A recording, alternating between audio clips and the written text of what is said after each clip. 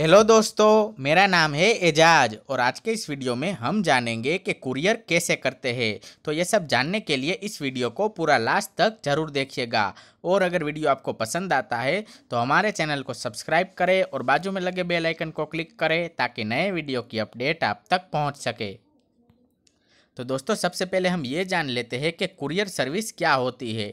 तो दोस्तों courier service एक ऐसी सर्विस है जो कि किसी को एक जगह से दूसरी जगह, यानी कि आपके किसी पार्सल या माल को एक जगह से दूसरी जगह पर भेजने का काम करती है।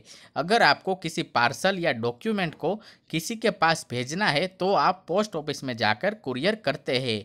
लेकिन अगर किसी कारण से पोस्ट ऑफ़िस बंद होता है तो आपको दूसरी कुरियर शॉप में जाकर उसे भेजना होता है।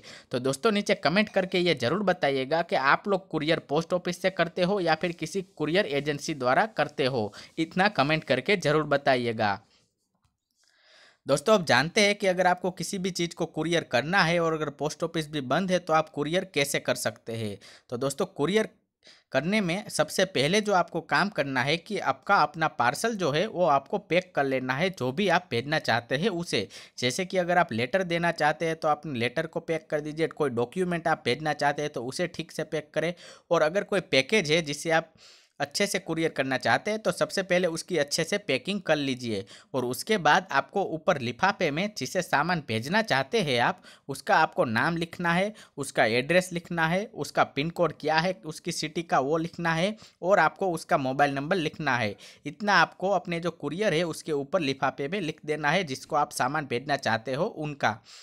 उसके बाद फिर आपको नीचे किसी कोने में आपको अपना नाम लिखना है और अपना एड्रेस भी लिख देना है, ताकि उनको पता चल सके कि ये सामान किसकी द्वारा आया है।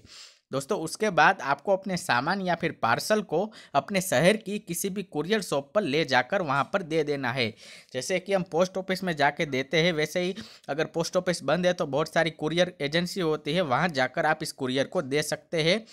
दोस्तों, जब आप अपने सामान को कुरियर शॉप वाले को देंगे, तब वो आपको एक पर्ची में नंबर लिखकर दे देगा। इस नंबर से आपका सामान ट्रैक करने में आपकी मदद होती है, यानी कि ये नंबर जो आपको मिला है, वो आपको अपने पास रखना है। अगर कोई कुरियर एजेंसी बड़ी है तो वो आप ऑनलाइन इस नंबर को डाल के अपने कुरियर को ट्रैक भी कर सकते हैं। और मान लीजिए कि आपने जो पार्सल भेजा था, वो उसको मिला ही नहीं है जिसे आप भेजने वाले थे।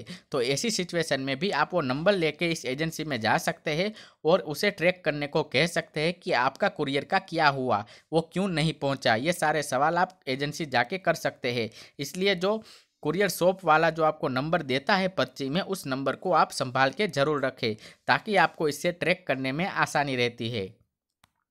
तो दोस्तों, आज के इस वीडियो में इतना ही। वीडियो अगर आपको पसंद आया हो तो इसे लाइक कर दीजिएगा और व्हाट्सएप ग्रुप में और भी अपने दोस्तों के साथ इसे शेयर ज़रूर कीजिएगा।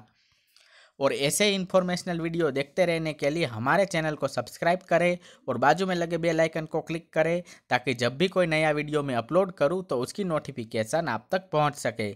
और इस वीडियो से संबंधित किसी भी तरह का प्रश्न पूछने के लिए नीचे कमेंट करें।